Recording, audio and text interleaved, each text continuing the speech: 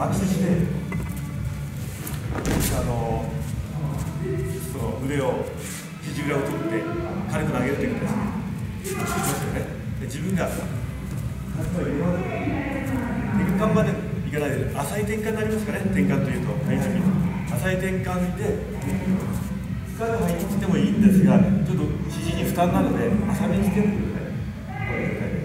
ここまではちょっとなんかきついので相手軽くしてたら怪我しないと思いますこういう形で持って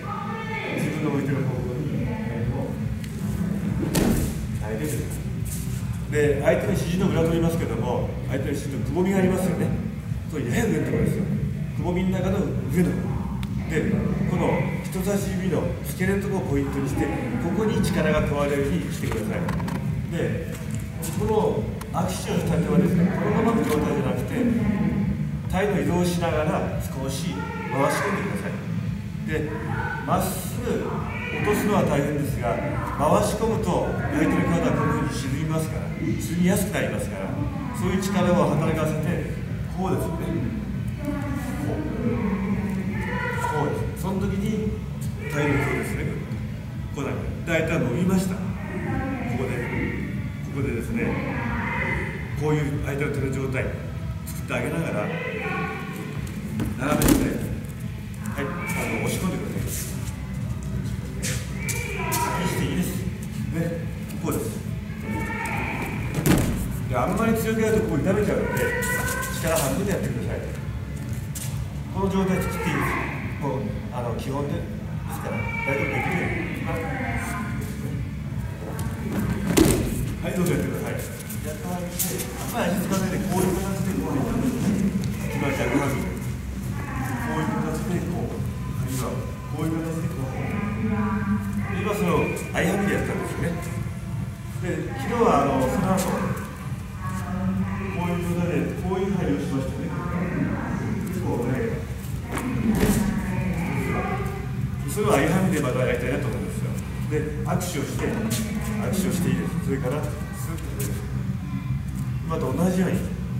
持たせた手は握った手は斜め下に沈ませてひねりながら。そうするとまっすぐでは落ちないけども回すことによって相手の手は肩も手も肩も沈みますから。それを使いながら3段す。るこの状態で。で何かしかで説明しましたらもう立った時に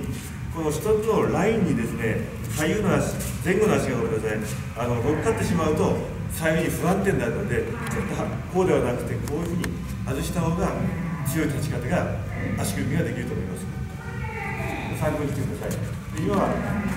ちょっと握した状態で浅めに移動してこうやりました今度はこうです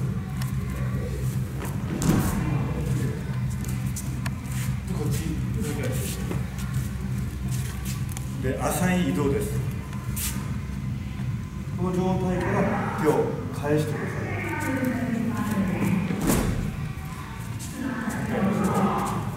の状態で今一つのラインを持ってますがそれを外して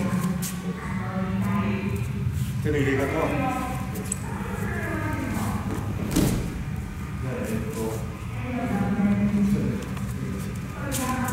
こういうふうになりますでしょ。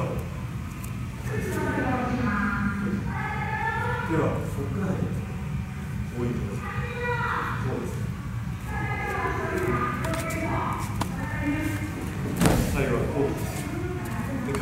はあの返しますよね昨日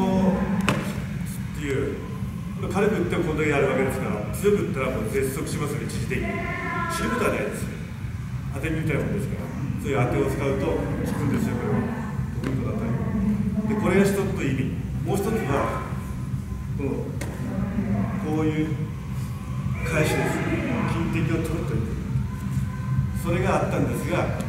ですよね。それを僕はそういうふうに表さないであのこれが実なんですけど実はこれが。あのそれを見せないで隠しておいて今日の稽古、まあ、嘘の稽古ですね。あのこういう返しをして投げてるんです。ただこれをやった方が相手も受け身取りやすいんです。これまで突っ込んでいくよりはですからこう入った状態から少しやってみますいうのはあのなんかね素人がやってる世界に近くなっちゃうのでちょっと悲しいですよね。どっちかというとこうやってねこの人はこうやってるんですよ。このボーリングするような感じでやってますからそれはちょっとまずかろうと思いますそれではぶどうにならないんでね。はい。あのなんでそうなるかわからないんだけどその方が動きやすいんですかね。全然違いないと思いますけど、まあ、強くやれば相手は手痛いと疑うとは思いますけどもちょっと武道的には改心できないな納得できないなと思います。そうではなくてこうです、でこういう範囲です。これをこうするためにこういう相手の肩をこうするんですね。ぐるっと上げれば。そしたらこういう攻めです。こういう包み込むような攻めがあるからすっと上げる。それをねこうやってねあのやってもあんまり相手は引いたら効かないし腕が太い人だと効かないのであの本当によく言いますけどあのよその国に行くとねあのこの腕がね僕の太ももみたいな人いっぱいいるんですよこことかみたいなもう手手が持てないんですよはみ出しちゃうんでこうやって僕よりこういう普通の手じゃなくてバケモンみたいな手がいっぱいあるんですよそういう人を崩すためにはこれやったって全然効果ないんですよできてもしないし懐も深いしでそういう人を崩すためにはやっぱりねちゃんと下側の崩しないとダメなんです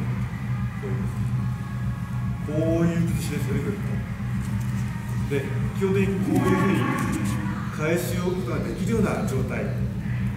あるいはつくことができるような状態がないと、あの僕は小さい人間は技が成立しないんですよ、はっきり言っちゃうと。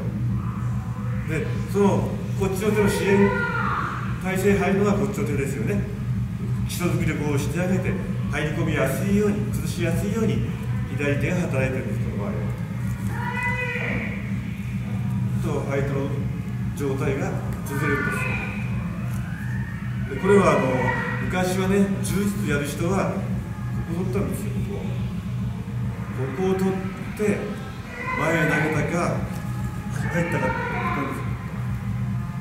普通はこれを持ってこう投げたんですそれを僕らはそうしないでですね普通にこうやってすごいふうに優しい形で表してるんです。ね。こうやってあのこういう状態からこの状態からった時にこの状態では実は自分の中心線はここにあるんですよ。こ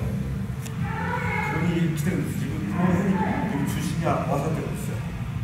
こういうふうに。投げる時になったらこの中心がこういうふうにここに自分の中心が合わさってきて